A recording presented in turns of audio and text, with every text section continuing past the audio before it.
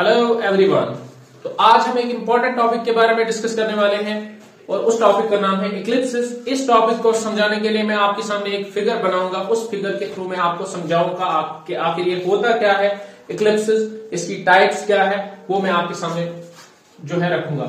यहाँ पर जो है ये सबसे पहले this is our sun source of light और ये जो है, ये हमारी अर्थ है। This is our planet earth and this is moon अब क्या है? आप जानते हो कि लास्ट टाइम मैंने आपको फेजेस ऑफ़ मून भी पढ़ाया था, और फेजेस ऑफ़ मून के साथ इसका बहुत ज़्यादा जो है लिंक है। तो अब होता क्या है? इक्लिप्सिस होता क्या है? इक्लिप्सिस का मतलब है when heavenly body comes under the shadow of another heavenly body जब एक हेवनली बॉडी जो है, वो दूसरी हेवनली बॉडी के शेडो के अंडर आती है, उसे हम कहते हैं इक्लिप्सिस तो इक्लिप्सिस जो होते हैं there are two main types of eclipses पहला होता है lunar eclipse and second one is solar eclipse तो हम पहले जानते हैं कि लूनर सोलर इक्लिप्स होता क्या है, जिसके बारे में आज आप सुबह से जो है सुन रहे हैं कि सोलर इक्लिप्स न्यूज़ में आ रहा, सोलर इक्लिप्स आज है को जो है वो सोलर इक्लिप्स है।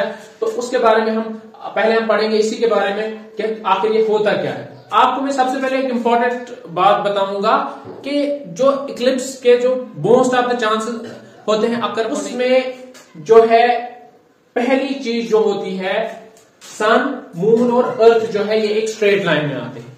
The sun moon and earth comes in a straight line तो उसके बाद जो है, यहाँ पर इक्लिप्स आने के ज़्यादा चांसेस होते हैं। अब होता क्या है कि जो सन की लाइट होती है, जब, अब सन की लाइट किस पे पड़ती है? अर्थ पे भी पड़ती है।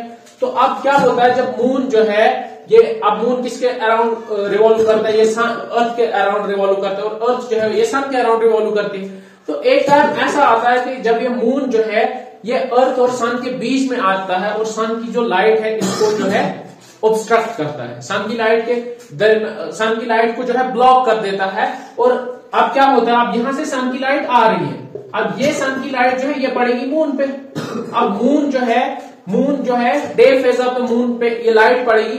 अब, लेकिन अब ये जो लाइट अर्थ पे आने वाली थी तो लाइट तो ब्लॉक कर देगा मून और ये जब ये ब्लॉक करेगा तो इस मून का एक शेडो बनेगा यहाँ पर। आपके सामने।